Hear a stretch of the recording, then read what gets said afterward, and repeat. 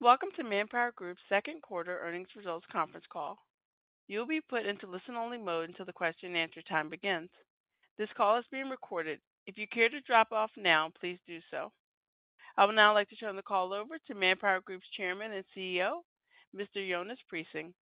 Sir, you may begin. Welcome, and thank you for joining us for our second quarter 2024 conference call. Our Chief Financial Officer, Jack McGinnis, is with me today. For your convenience, we've included our prepared remarks within the investor relations section of our website at manpowergroup.com. We'll start by going through some of the highlights of the quarter, and Jack will go through the second quarter results and guidance for the third quarter of 2024. We'll then share some concluding thoughts before we start our Q&A session. Jack will now cover the safe harbor language. Good morning, everyone. This conference call includes forward-looking statements, including statements concerning economic and geopolitical uncertainty, which are subject to known and unknown risks and uncertainties. These statements are based on management's current expectations or beliefs. Actual results might differ materially from those projected in the forward-looking statements. We assume no obligation to update or revise any forward-looking statements. Slide two of our earnings release presentation further identifies forward-looking statements made in this call and factors that may cause our actual results to differ materially and information regarding reconciliation of non-GAAP measures. Thank you, Jack. We are speaking with you today from our global headquarters in Milwaukee, Wisconsin. All eyes are on our city this week as it hosts one of the major events on the U.S. political calendar. Just a few days ago, we were pleased to welcome ambassadors from around the world to a breakfast event. During our time together, we discussed labor markets in their countries, particularly as many of them are undergoing shifts in the political landscape. Based on these conversations and with business leaders worldwide, it is evident that we're in rapidly changing times. Geopolitical uncertainty persists, technology continues to advance, and the economic rulebook is still being rewritten post-pandemic. Still, labor markets remain solid in many areas, with relatively low unemployment and layoff activity. Our most recent employment outlook survey of over 40,000 employers this spring found that hiring confidence is holding steady at lower levels compared to a year ago, as economic uncertainty continued to give employers pause, and economies in Europe and North America are gradually cooling, with inflation moderating. Many large enterprise clients are prioritizing hiring for the core skills they need and holding on to the skilled workers they have. At the same time, while the promise of AI is yet to be realized, it is front of mind for businesses across every industry.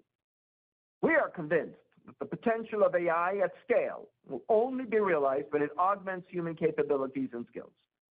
Many companies recognize this need and are developing their current workforce while selectively adding new talent. Priority is placed on retaining and attracting workers with specialized, flexible skills and an adaptable mindset to adjust to the evolving requirements in the workplace. This focus on workforce development to maximize potential is more evident now than ever. Our business operates at the intersection of worker preferences and employer priorities. Our research tells us that more than six in ten believe AI and machine learning will have a positive impact on business performance, and 70% plan to boost upskilling efforts accordingly.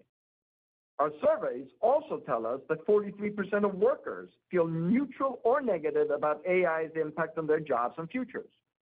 We have an opportunity to guide both employers and workers through this moment of transformation. Through our partnerships with clients, we believe this is a significant opportunity for us, finding skilled talent and bridging the skills gaps across industries with our Manpower MyPath and Experis Academy training programs. While we have seen a growing focus on workforce retention and development, we have not yet seen the inflection point of widespread demand improvement. But we have seen underlying soft staffing trends broadly stabilize in North America and Europe, with Asia and Latin America continuing to hold up well. We're convinced that our focus on specialized skills in our Manpower business is the right strategy, and early results demonstrate increased demand for mid-level skills within several key end market verticals, such as automotive, aerospace, and logistics.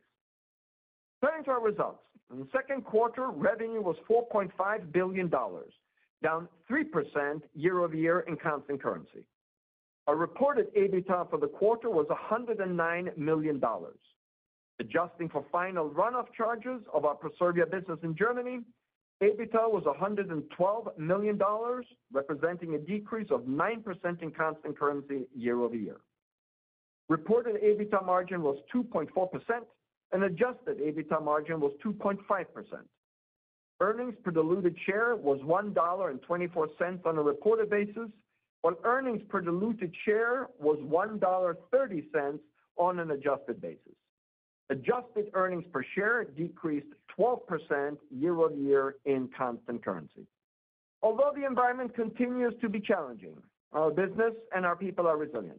Our diversified business mix and geographic footprint are serving us well. We're confident that our strategies are positioning us well for future profitable growth. We continue to reimagine our workflows and processes with the goal to enhance our future productivity and ROI. We continue to serve as an expert guide for our clients as they adapt to a changing environment. I'll now turn it over to Jack to take you through the results in more detail. Thanks, Jonas.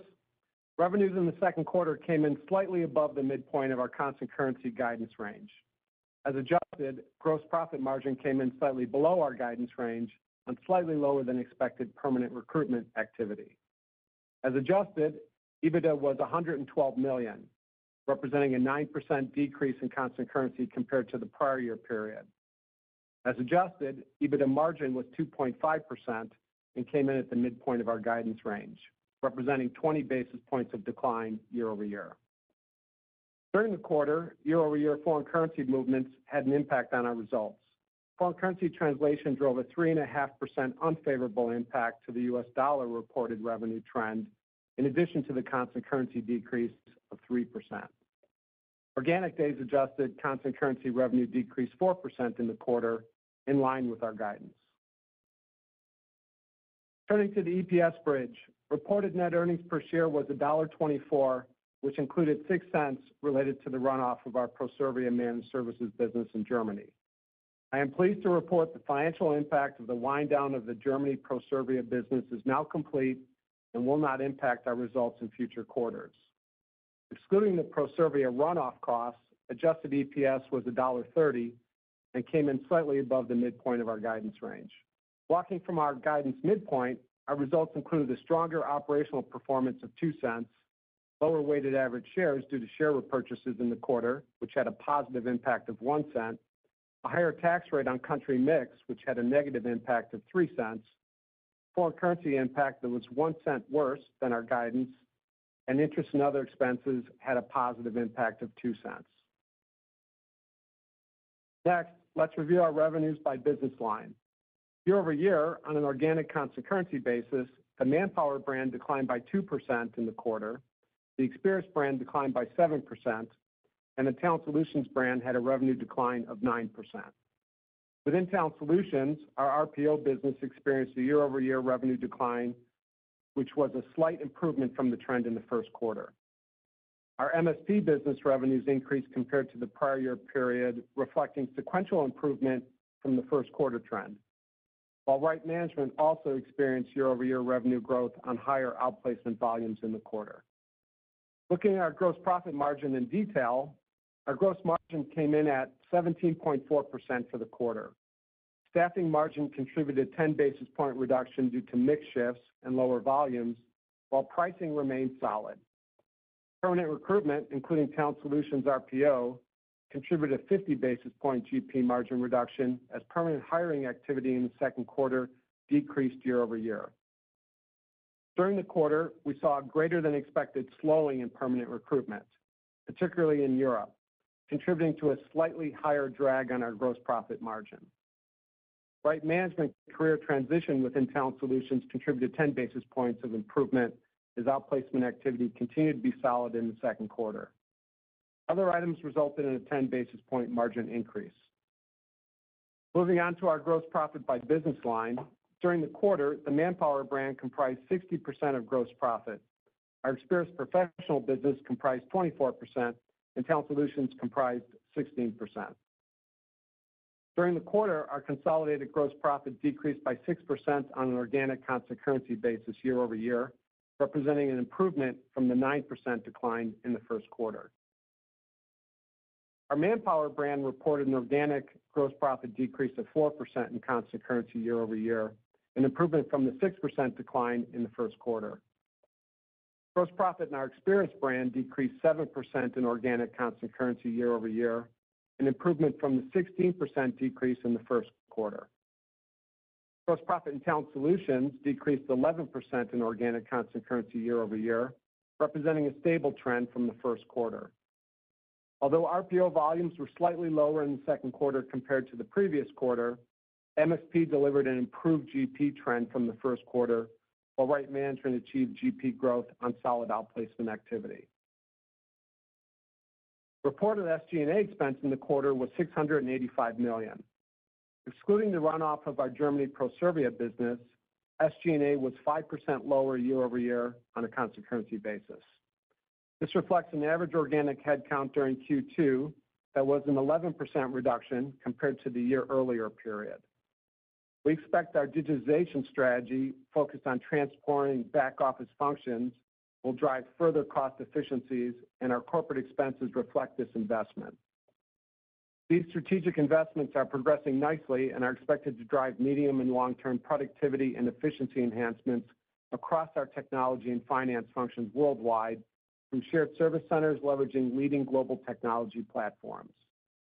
The underlying year-over-year SG&A decreases largely consisted of reductions in operational costs of $36 million and currency changes of 20 million.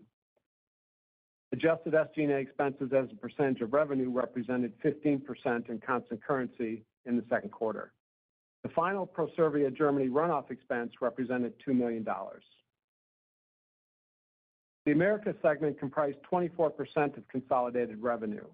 Revenue in the quarter was 1.1 billion, representing an increase of 5% compared to the prior year period on a constant currency basis.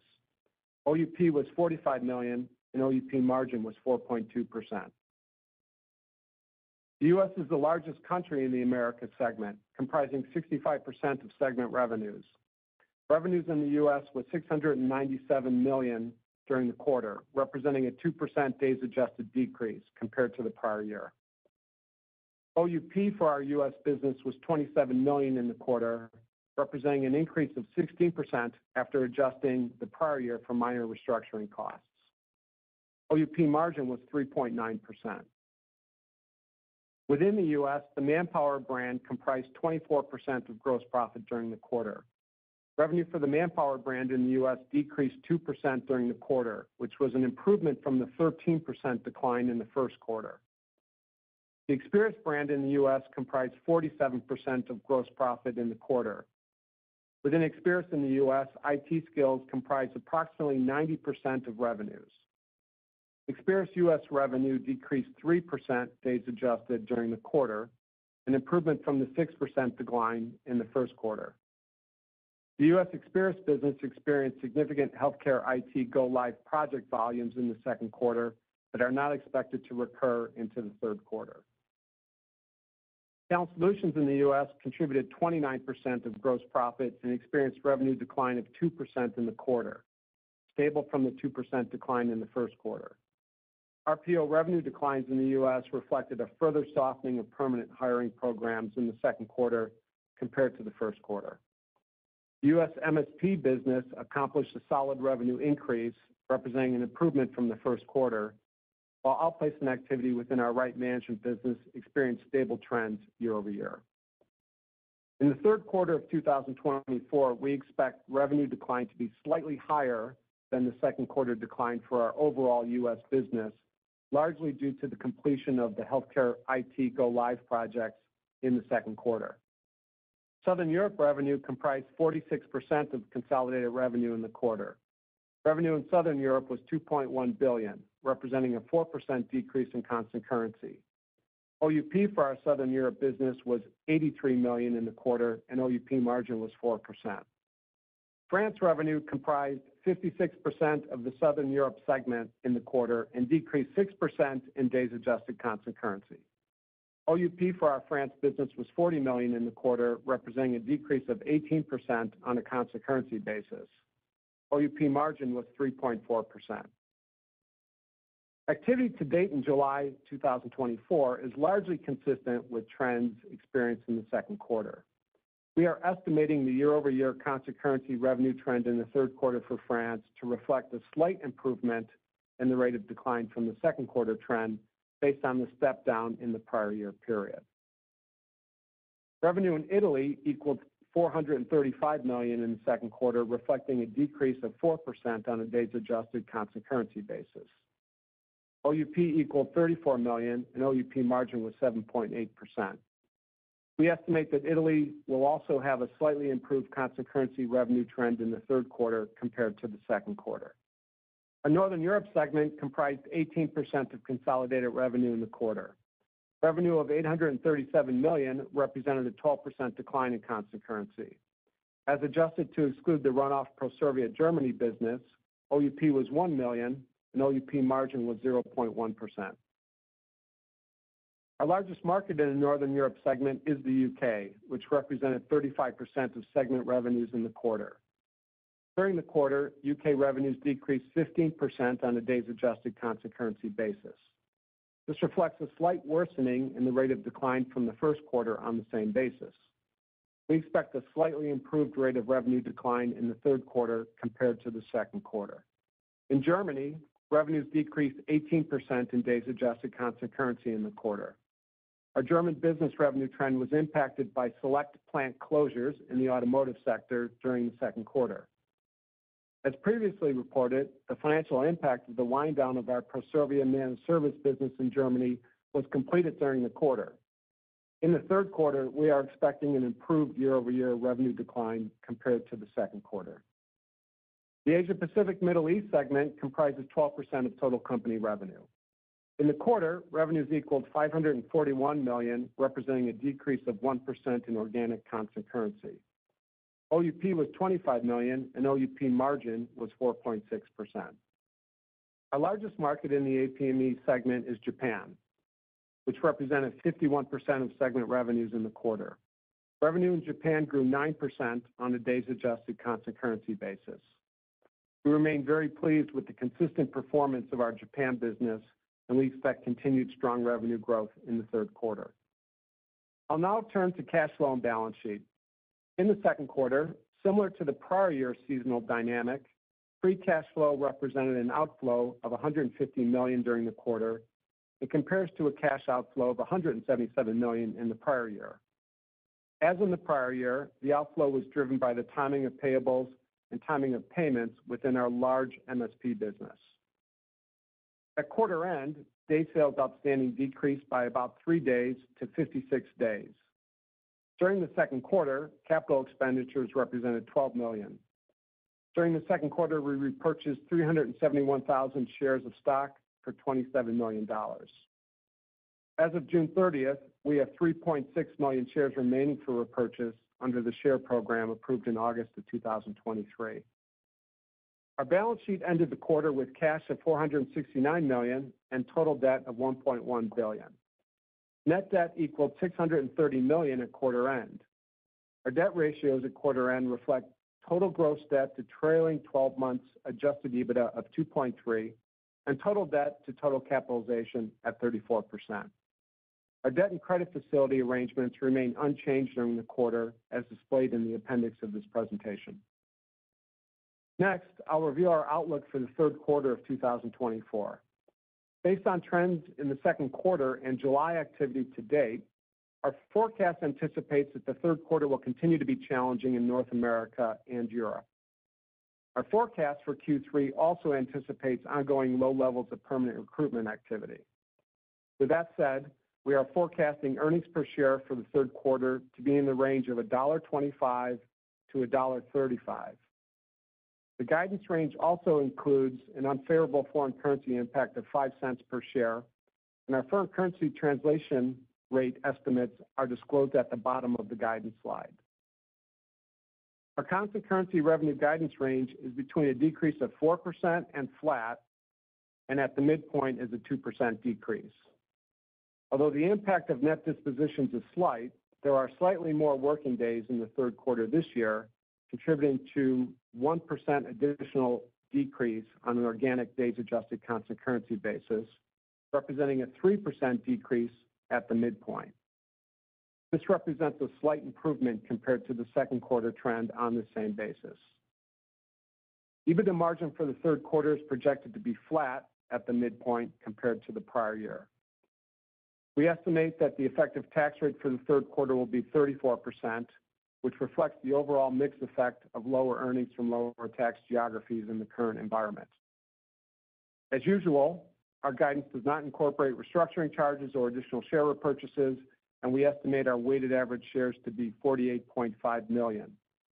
Our guidance also does not include the impact of non-cash hyperinflationary balance sheet-related currency translation adjustment for our Argentina business, and we will report that separately if it is a meaningful amount. I will now turn it back to Jonas. Thank you, Jack. We are committed to adjusting our portfolio, managing costs while making strategic investments in areas we predict will shift the needle. We remain confident in our diversification, digitization, and innovation strategy and are making good progress. In digitization, we see the potential for AI to produce new workflows, streamline processes, and improve the candidate experience. We're already making progress in these efforts with pilots in our recruiter platforms, where we're integrating GenAI prompts and taking a learn, adapt, and scale approach. Our rich global data will fuel better insights for our clients and candidates, and the work we're doing to consolidate data globally and reskill workers in the age of AI is a critical step in building a foundation that is future fit. We know our clients value our expertise in this area and turn to us for guidance. In May, we showcased our innovations at Viva Technology in Paris, the premier European tech and startup conference. Over 100 clients visited our ManpowerGroup France headquarters to discuss the transformation of recruiting and how human capabilities are at the heart of how the future of work will evolve in the AI era. We know clients choose to work with us because our strong brands, Manpower, Experis, and Talent Solutions, are proven global leaders. In June, Talent Solutions was named a global leader in recruitment process outsourcing by Everest Group for the 14th year. Everest recognized our strong vision and strategy, the quality of our recruiters, and continued investment in innovation. Our consecutive recognitions prove that we are consistent in the quality of our services and delivery strength. New accolades show we are committed to pushing ourselves to achieve more. Recently, we were named by Time Magazine as the world's most sustainable company, the only company in our industry to be recognized and in the top 10 for professional services. For us, sustainability is not a trend or a marketing slogan. It's about growing our business in partnership with our clients while helping people be successful and also caring for the planet, which is vital for our shared future prosperity. Job seekers, clients, and partners choose to work with us because of these values, and this recognition is a result of our Sustainability Champions data-driven approach worldwide as we strive for more transparent reporting and higher global standards year after year. With that, I'd like to close by thanking our clients, candidates, and investors for placing their trust in us and our people for dedicating their time and skills to us. Operator, please open the line for Q&A. Thank you. If you'd like to ask a question, please press star one one. If your question has been answered and you'd like to remove yourself from the queue, please press star one one again. Our first question comes from Jeff Silber with BMO Capital Markets. Your line is open. Thanks so much. Um, wanted to start uh, focusing first on the U.S. Um, you talked about some of the trends in the second quarter versus the third quarter. I know you highlighted, you know, kind of the the go-live project and Experis, but if I take that out, it looks like the trends will be relatively flattish, at least uh, on a year-over-year comparative basis. Um, can we just get a little bit more color what's going on in the U.S. in terms of the underlying growth there, what your customers are saying, et cetera? Good morning, Jeff. Yes, we were very pleased to see uh, the U.S. come in uh, a bit better in the second quarter. But as you correctly point out, the underlying activities as we project into the third quarter really emphasizes stability. And, you know, we had some good movement in Manpower and Experis and also in Talent Solutions in the U.S. And, you know, we expect that stability to continue. We don't see this at the time of a, as an inflection point, Uh, but broadly broadly seeing stabilization is positive, uh, because we feel that, you know, the markets have uh, stabilized, then that we are able to get some new opportunities in the market, although demand still remains soft in the U.S. All right, great. If I could shift over to just worldwide perm. Um, you specifically focused on some of the perm weakness in Europe. Maybe we can get a little bit more color what's going on there, and are you seeing anything similar in perm in North America? Thanks. We are seeing stabilization also in perm in North America and in the U.K. as well. Um, but broadly, I would say perm has come down a little bit more, so it's slightly softer in the second quarter uh, than it was in the first quarter. And when you think about it, it's really playing out in terms of the industry and market dynamics the way you'd expect. Employer confidence is still fragile, and that means hiring will come down slightly, and they will uh, prioritize when resources are needed, uh, temporary staffing for Manpower or, uh, you know, having additional IT consultants for Experis. So you can see that the staffing business across our Uh, brands is holding up better than perm. Yeah, and Jeff, this is Jack. I would just add to that, progress in perm. As we ended the first quarter, uh, we saw that perm was stronger in Europe, and I'd say the development during the second quarter was we saw Europe particularly coming down a bit softer in perm. And I'd say the two markets I would call out where it did soften noticeably sequentially, I would say would be France and Italy, uh, two of our larger businesses where we have good perm activities. Um, but as Jonas said, I think, uh, the U.S. Uh, was more in line with our expectations in terms of perm, but I'd say in Europe it was a bit softer. I appreciate the call. Thanks so much. Thank you. Our next question comes from Kartik Mehta with North Coast Research. Your line is open. Hey, good morning. Uh, I wanted to ask uh, a little bit about the pricing environment. Uh, I think you indicated that it's still stable. And one, are you at are you at all surprised that the market is still stable, considering the pressure that's been on revenue? And I'm also wondering, on the permanent side, if you're seeing any kind of pricing pressure. Good morning, Kartik. I would say that pricing remains Uh, rational. It's always a competitive environment, and the reason we think uh, pricing remains stable is that the underlying um, labor markets remain solid in almost all of the geographies where we operate. So demand and access to talent is still restrained to some degree, and uh, we have seen a moderation, of course, in wage inflation across uh, the geographies. But the pricing environment and the uh, attractiveness of talent means that we've been able to maintain uh, our pricing discipline, and as I mentioned, it is rational overall. We also see that price rationality and stability reflected in our fees on the perm side. It's just that demand for the perm placements is down. And you know, we can see that as an effect of both weakness on the demand side, and as Jack just mentioned, most of that weakness, you know, the softening that we saw came out of Europe. But we've also seen it from a candidate perspective. So candidates are less open to changing, so it takes us longer to uh, move candidates into the opportunities. And that's really just a reflection of, you know, a degree of uncertainty about what's to come, and it's also very typical for this kind of phase of the economic cycle.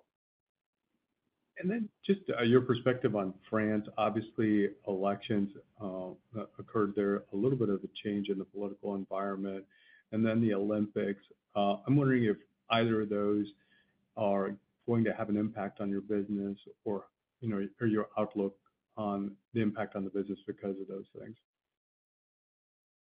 Well, first, I'd like to say, Kartik, we have elections happening all the time. Of course, in this year, we have a lot of elections going on in various parts of the world. And, you know, we have a great track record of being able to work with whatever, whatever color or version of politics is eventually represented in the government. Clearly, the situation in France is somewhat different because France will either have an interim government that is managing through a split assembly, a minority government that is, you know, looking for support either from the extreme left or from the extreme right, or a broader majority government that's a coalition of, you know, a little bit of left, center, as well as as, as right. And that causes some uncertainty in France. And the area where we see that mostly reflected is going to be in perm hiring, and we saw some of that already emerge. But by the same token, when employers need talent, then they will uh, look for uh, other more flexible options, and I think that's also what we're seeing in France. So it is an environment that is a little bit different. In the short term, we don't think it's going to have an impact. We're not, at this point, uh, too concerned with any legislation ideas uh, that that uh, may come. We think the issue in France is mostly an uncertainty on which direction the country is going. Short term, we think this is manageable, and then once a new government is established, we better understand the policies that they will pursue, you know, then we'll then we'll know a bit more. And as to the Olympics, uh, you know, I think we could expect Uh, a little bit of uh, uh, a little bit of um, support there, and that it could be a little bit of a bump for our French activity. But remember, the Olympics are really impacting the Greater Paris region only, and it's only for three weeks. So while we could expect to see an increase in activity, we think it's going to be relatively limited. Thank you so much. I appreciate it. Thanks, Kartik. Thank you. Our next question comes from Mark Marcon with Baird. Your line is open. Hey, good morning. Thanks for taking my questions. Um, with regards to uh, Experis, uh, you know, we did see some improvement in terms of the year-over-year um, decline in the U.S. in terms of going from 6% to 3, but you did mention that it was it was driven by this, you know, big healthcare um, project, which is coming down. So if we strip out that um, big healthcare project, what's the underlying trend, and how are you feeling about Experis business, both in the U.S. and then globally? Thanks, Mark.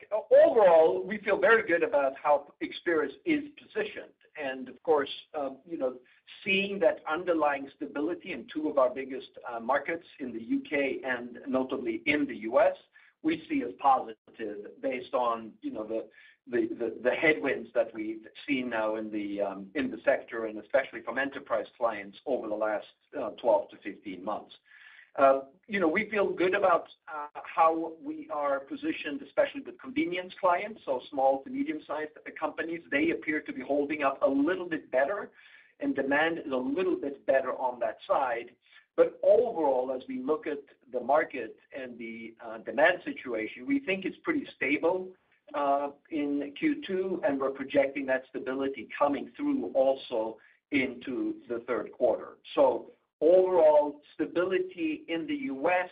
with opportunities uh, that you saw us take advantage of in the second quarter, projecting, the same underlying stability into Q3. Experis globally, with the U.K. stabilizing and other markets stabilizing as well, we think is positive. And we've also seen, you know, the enterprise demand stabilize at a lower level because that was the main driver of the significant declines that we saw last year. Uh, so we we we have a point where we believe the employers and our clients are pleased with where they are, a little bit in a wait-and-see um, position, and we are very well positioned to take advantage of an improvement in demand. And Mark, I would just add, you know, in terms of the impact it had on the rates, uh, the trend in the revenue trend for Experis in Q2, You know, you mentioned down about 3%, days adjusted. I think it was down about 2%, rounded on a constant currency basis. The healthcare IT was better than we expected. Uh, it was strong in Q1. It was even stronger in Q2.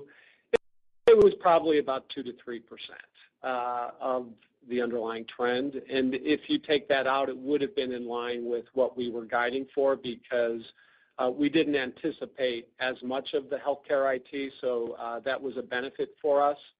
Um, so that kind of helps you in terms of determining what it would have been without that. But as Jonas said, I think once you take it out, our guide was anticipating stable underlying trends. Healthcare IT helped lift it further. Um, but if you take that out, I think the business is fairly stable at this point. Great.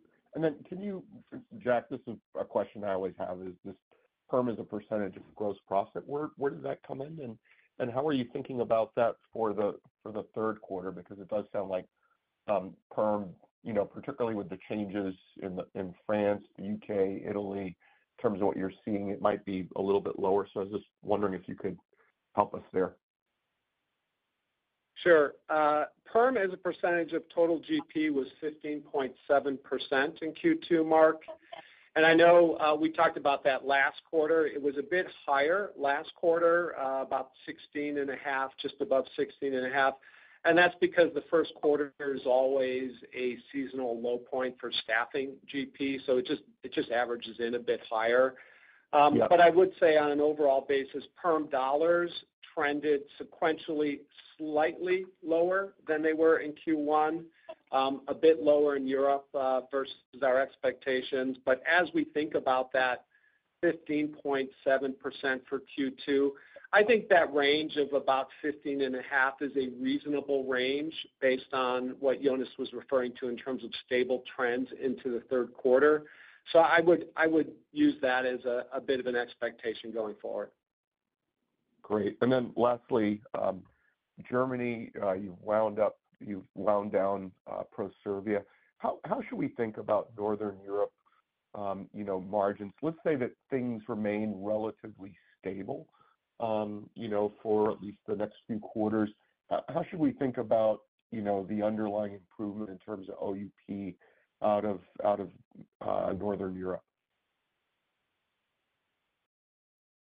Northern Europe, Mark, uh, as you know, is one of the areas where we're seeing the most pressure at the moment. So I'd say the current um, indication is really a bit of a low point based on the pressure. And I think as we reported, you saw that the Nordics continued to be an area where we're seeing some of the some of the highest degree of pressure year-over-year. The U.K. Um, certainly continues to be one of those markets as well. But but to your point and to your question, I think we talked about Proservia in the first quarter was a drag of about $7 million um, to our consolidated results. Now that that is removed, that gives you a bit of an indication of the opportunity here, if you think about that from a run rate perspective, in terms of the impact that had on the drag of our Germany operations, the drag of our Northern Europe segment on an overall basis. So I think it removes a pretty significant drag that we had in the business. We feel really good about our Germany, about the prospects for our Germany business going forward. Um, it's performing uh, fairly well in the automotive sector today. Germany, of course, is seeing some overall manufacturing weakness, but I think based on, um, you know, the relative trends, uh, in terms of the industry overall, I think we feel good about our opportunities in Germany. So as we go forward, it removes a pretty significant drag and will move Northern Europe back to profitability once we, you know, continue to ease out of this slump that we're in currently, and we start to see more traditional trends reemerge for manufacturing and so forth. And so Northern Europe will uh, be able to surpass where we've been on profitability, um, before the downturn as we as we go forward. Great. Thank you. Thank you. Our next question comes from Manav Patnaik with Barclays. Your line is open. Hi, thanks for taking my question. This is Princy Thomas on for Manav.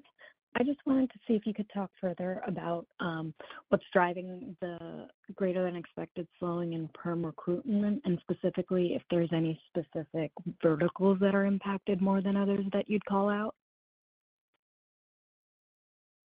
Princy, uh, thanks for the question. Uh, really, it is pretty straightforward. As I mentioned, Europe, I'd say the perm softening in Q2 was really more pronounced in Europe. As we ended Q1, Europe was stronger in perm, uh, and that really started to reverse in the second quarter. So the two bigger markets for us, where we saw perm Um, edge down slightly sequentially, I would say, would be France and Italy. Those really were the main drivers. Um, from a sector perspective, I think, you know, as Jonas mentioned, more broadly, um, in countries like France, we saw a bit of a broader pullback in perm. I wouldn't say it's isolated to any specific sector. I think it's more employer confidence, and he talked about the election uncertainty being a bit of a dampener as well.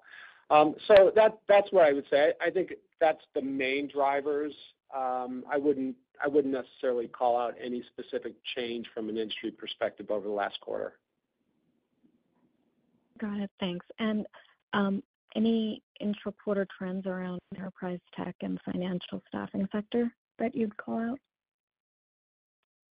No, I think from a sector perspective, Princy, I think generally the trends that we talked about last quarter are for the most part holding kind of in line with um, the trends in terms of stability overall. What that means in the scheme of things is auto uh, continues to be more solid. Auto, although auto has been leveling off a bit, it is still holding up better than the rest of manufacturing. I would say the manufacturing sector, ex auto, continues to be much more sluggish. And to your point, enterprise tech, um, although it has stabilized, it continues to be an area of very sluggish demand and running at stable levels, but lower levels, of course, overall. And I think maybe the last one, to your point, financial services. Although financial services was a bit of a strength from a sector perspective a year ago, towards the end of 2023 and here in the first half of 2024, we've seen financial services pull back a bit. So financial services has been trending a bit weaker. Um, with that being said, I think as we mentioned in our prepared remarks, one area that has been a strength is healthcare IT, and we certainly saw that in the U.S. business in the first half of this year. Um, maybe one other one would be aerospace has been strong in Europe, uh, in France particularly. Uh, but I'd say that's pretty much the roundup from a sector perspective. Appreciate the color. Thank you. Our next question comes from Josh Chan with UBS. Your line is open. Hi, good morning, Jonas and Jack. Uh, thanks for taking my questions. Uh, I was just wondering if you could speak broadly about the trends over in Europe. I think kind of going into the quarter, there were some concerns that maybe there would be some incremental softening in Europe in the second half, but it sounds like from your guidance in Q3, France, Italy, U.K., it doesn't seem like you're seeing any incremental softening. So just kind of curious what you're seeing kind of on the ground in Europe. Thank you. I think you've described it well, Josh. You know, you have a couple, you have France, which is slightly weaker, but you had Italy that did a little bit better. We always expected, you know, Northern Europe to um, be the most challenging, and that turned out to be true, especially in the Nordics. We saw some continued weakness. But stepping back from it all, you are seeing Europe as stable in terms of our activity, um, you know, at a lower level. And, you know, we've now seen um, a first uh, rate uh you know rate decline. Uh, this morning, the ECB decided to hold the rate steady. Um, the inflation rate in Europe is coming down, so uh, underlying uh, inflation rate is about 2.9%, coming down. Uh, the U.S. is at 3.3. So everything that we would expect to see happening in this economic cycle is sort of playing out. The economy is cooling. Labor markets are cooling, though remain solid. And um, we are seeing it um, impact our markets in terms of the demand for temporary staffing and, of course, a bigger impact on permanent. All of these are dynamics that we would expect to see in an economic cycle, and frankly, it's playing out um, the way we as an industry have navigated challenging times like this before. So although we don't see an inflection point at this at this time, we're we're hopeful that you know, it's a c it's not a question of if, it's a question of when uh, the um, the inflection point occurs. And our uh, our task is, of course, to stay ready for the upturn and manage the current environment at the same time. And we do that by investing in sales resources to generate demand above and beyond what the market gives us, managing our SG&A, and really doubling down on uh, the investments in transformation. So during this time, we've really increased our effort on the digital transformation sides in the front office, the back office, and um, we're making some excellent progress you know, also from a client-facing and candidate-facing uh, properties such as mobile and web. And that, we think, is going to be really good for us going forward because it really means we have a unique and global digitized um, technology infrastructure, which will help us implement, of course, innovation and GenAI and other aspects as well, as well as driving common processes across our business globally. That's good color. Thank you thank you for that, Jonas. And then maybe a margin question for uh, Q3. I think normally the business has a seasonal margin uptick in going from Q2 to Q3, but that seems to be more muted this year. Just curious, what are some of the offsets that's causing the stable margins going from Q2 to Q3? Thank you. Josh, yeah, I think you're right. In um, in normal environments, you generally will see the second half uh, be a bit of a better margin opportunity.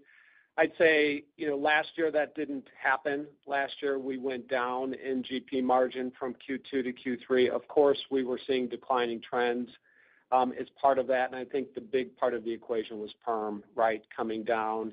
And I'd say it's it's similar this year. I think we're we're we're not coming down sequentially. Uh, Q2 to Q3, we're holding at that 17.4%. So what that really means is we're seeing perm level off, starting to stabilize into the mix, kind of going back to the question we had earlier in terms of the expectations for the perm mix as total GP.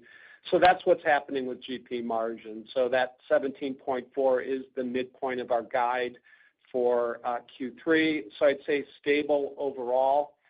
I would expect, as we start to see improving trends, you'll see perm start to pick up again, and that will give us some opportunities for increases in GP margin as the mix starts to move back in. And then, of course, as Experis and Talent Solutions start to get back to growth, you'll see them average in um, in the mix at larger percentages as well, and that will improve the GP margin when the recovery starts to take hold. So Um, those are some of the dynamics uh, in terms of the margin overall, but I'd say uh, you know, really what we're seeing Q2 and Q3 is really more stable underlying trends. And I think that means for the mix as well, and that's why you're seeing the GP margin hold fairly stable.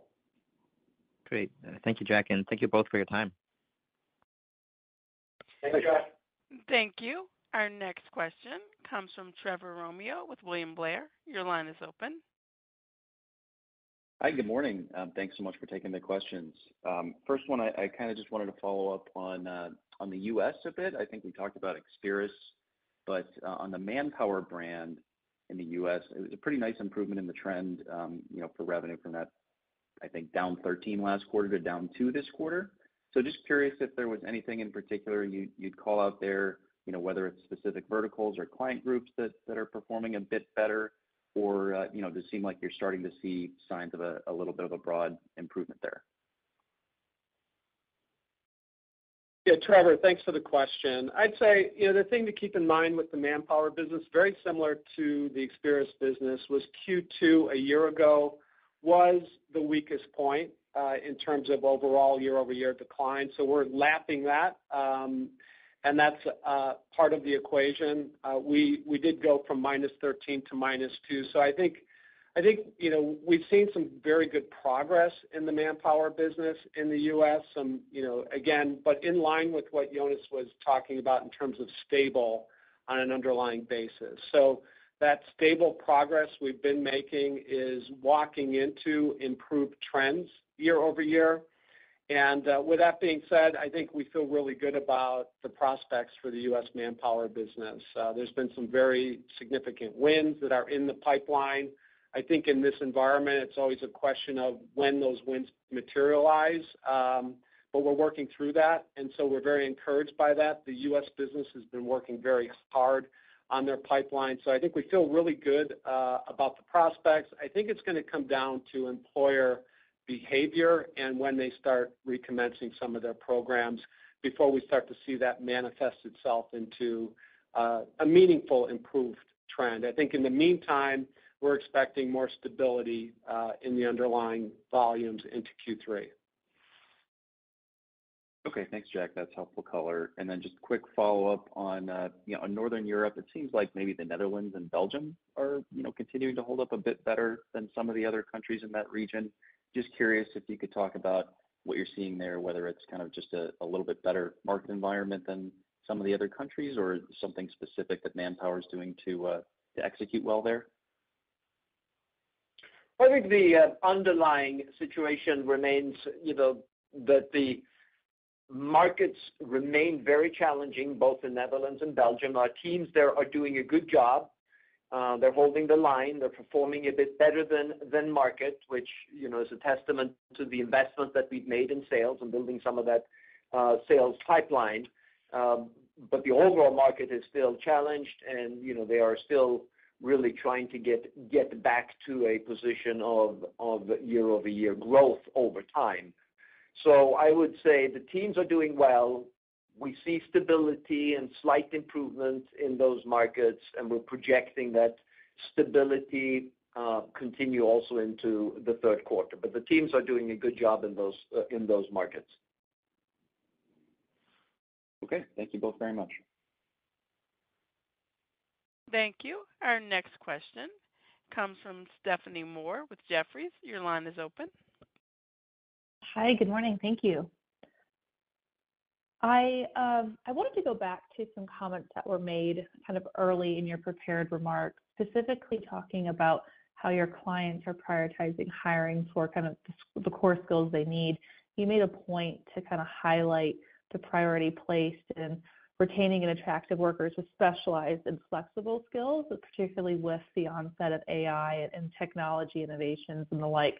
So I'm just trying to kind of maybe dig into those comments a little bit more. So are you, are you from your conversations with employers, are they simply able to get by with less employees because of the skill sets they hired the last few years in their own technology expectations? I guess I'm just trying to rationalize this current environment and simply employer hesitancy because of the lack of confidence in the economy, and what also could be just a structural hiring mindset change that we're seeing right now. So any color there would be great. Sure. Uh, and so, Stephanie, I think what employers are prioritizing right now is retaining their existing workforce. They have a very painful memory in the U.S. of, you know, a major workforce dislocation during the pandemic, a huge spike in unemployment, and great difficulties finding talent, uh, with very strong wage inflation, you know, the two years following the pandemic. And so they hired a lot of people, um, paid a lot of money at high wages to bring those people in, and they've been through um, all of the, you know, changes that you've seen in the economy during the pandemic, post-pandemic, you know, spike of inflation. So their priority is to retain the workforce that they have and develop that workforce. Uh, then they decide that they have seen um, a buildup of inventories in many cases in advance of, you know, in response to the shortages you saw during COVID. So from from a manufacturing perspective, and a PMI is below 50, both here in the U.S. and further below uh, in Europe, they're now working off that inventory they built up to be able to satisfy the uh, significant orders that they had received during the pandemic and post-pandemic. So they're working off those inventories. They are servicing the markets and their client markets with the staff that they have. Of course, they are still maintaining temporary staff as well as consultants from uh, Manpower and Experis, just as we're seeing. They're just not increasing them to any noticeable degree because they can manage in this current environment. And although our economic growth in the U.S. is still good, if you look at various sectors, you see that manufacturing has a tough time, and many other industries have a tough time. The areas that are really generating growth are in government, it's in healthcare, uh, to some degree, still hospitality, uh, because the consumers are still strong and purchasing experiences more than goods, although consumers are trading down, just as you would expect in a cooling economy. So I would not see this as a structural change in hiring. Frankly, when I look across the world and I look at what other regions are doing, where the economic cycle is playing out, be it, you know, the continued good uh, good evolution in Latin America and in Asia Pacific, you know, we see hiring demand on temporary and on permanent, just as we would expect we would in those kinds of economic environments. The economic uh, downturn in Europe really started at the beginning of 2022, and, you know, our industry has seen that inflection point play out just as we have seen in other cycles.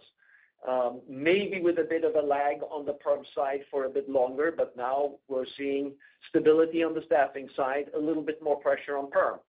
And frankly, we would expect the same traditional dynamics to play out also here in the U.S.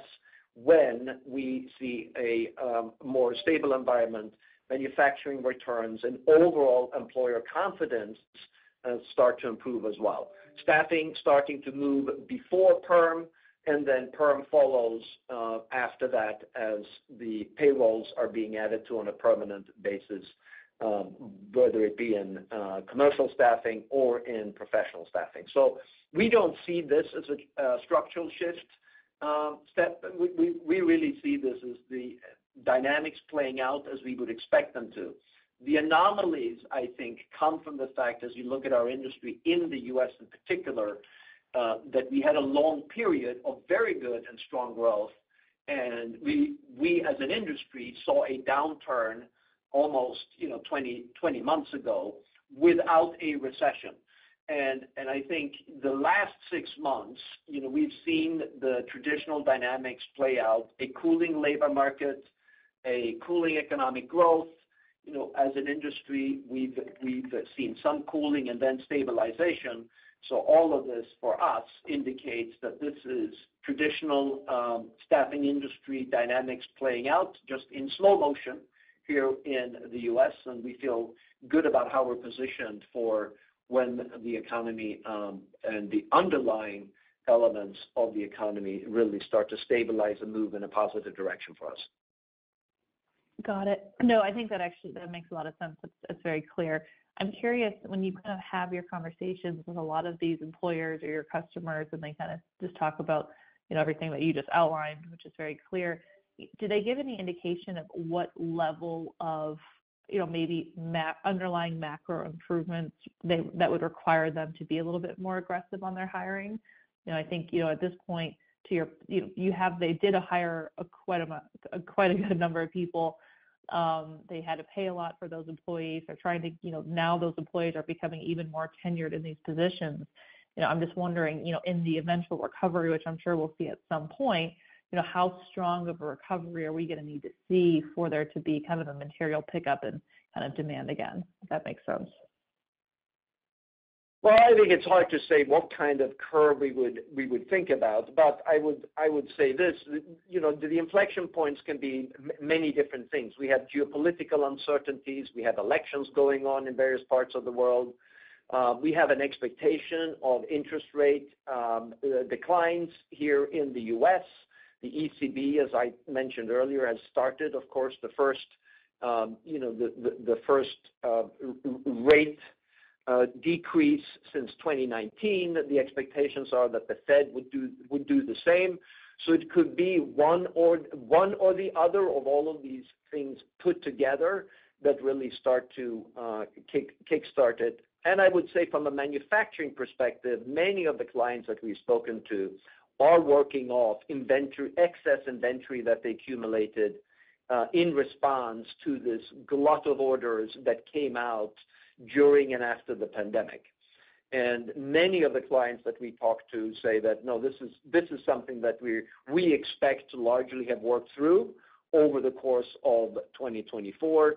And you know, with the external macro um, indicators that I mentioned and that in combination Um, makes us believe that we'll see some improvement. But the slope of that improvement is very hard to predict. I think it'll very much depend on you know, the industry that you're in and what each of those industries are seeing in terms of opportunities. Great. Thank you so much. Thank you. And we have time for one last question. And that question comes from Andrew Steinerman with JPMorgan. Your line is open. Hi. Good morning. This is Stephanie Yee stepping in for Andrew. Um, I have a similar question kind of to the last question, but um, we have seen this disconnect between U.S. temporary help being down and GDP and non-farm payroll being up in the U.S. It sounds like, correct me if I'm wrong, that maybe the biggest driver, in your opinion, is full-time labor hoarding. Um, Do you think that fully reverses when things improve? And also, are you seeing that same hoarding dynamic in France?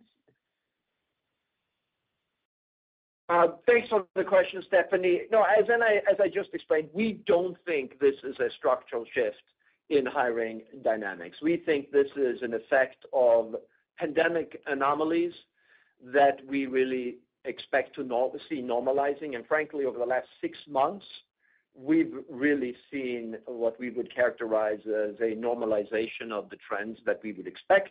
That, of course, does not explain the preceding 14 months.